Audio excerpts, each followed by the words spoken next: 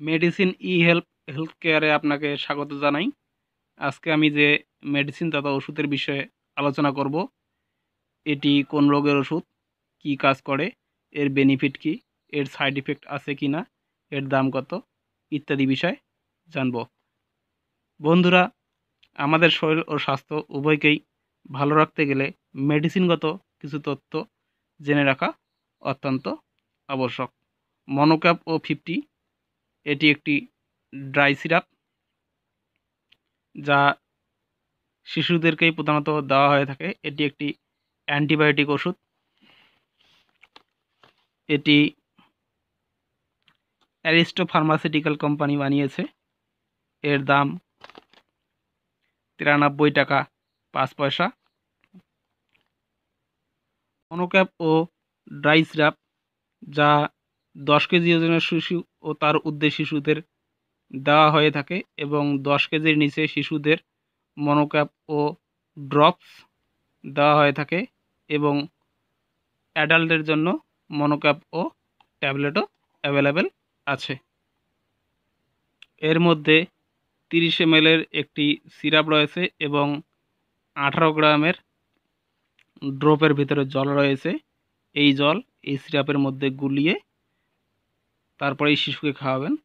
তবে মনে রাখবেন, গুলানোর সময় ভালোভাবে গুলিয়ে নেবেন।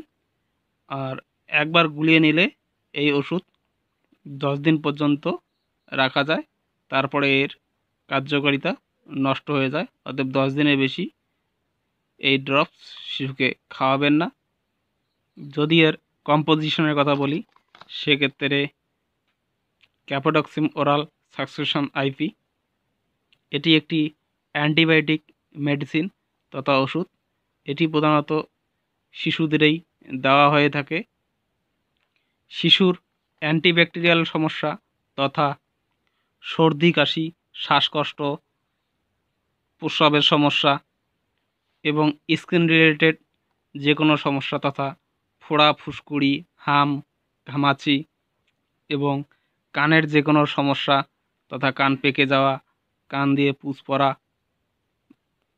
নিউমোনিয়া, সায়ামেক্স ইত্যাদি শিশুর বিভিন্ন ধরনের রোগ ব্যাধিতে এই মনোক্যাপ ও ফিফটি ড্রাই সিরাপ দেওয়া হয়ে থাকে।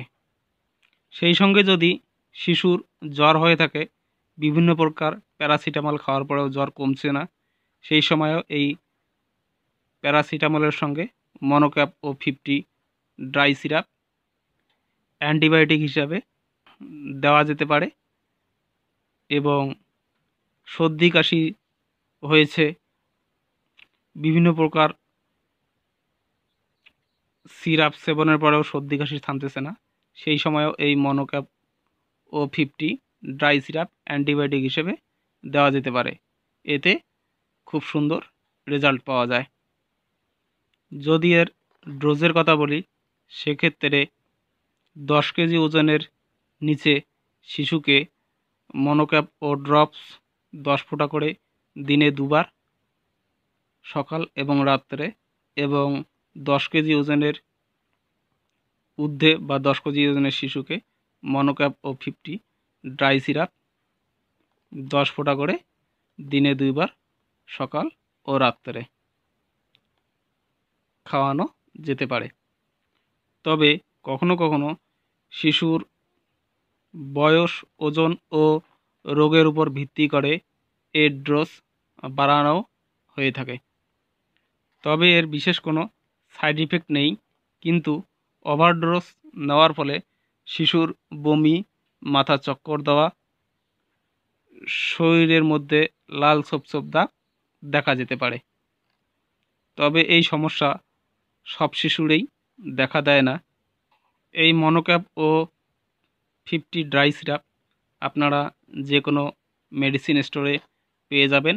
তবে সেম কম্পোজিশনের ওষুধ আপনারা ন্যায্য মূল্যের ওষুধের দোকানেও পেয়ে যাবেন। তবে আমি একটি কথাই বিশেষভাবে বলব যে কোনো মেডিসিন বা ওষুধ খাওয়ার পূর্বে তথা শিশুকে সেবন করার পূর্বে অবশ্যই ডাক্তারের সঙ্গে পরামর্শ করবেন।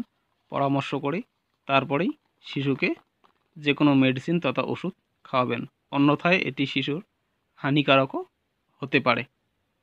যে কোনো ওষুধ বা মেডিসিন ডাক্তারের সঙ্গে পরামর্শ করে খাওয়াই খুব ভালো।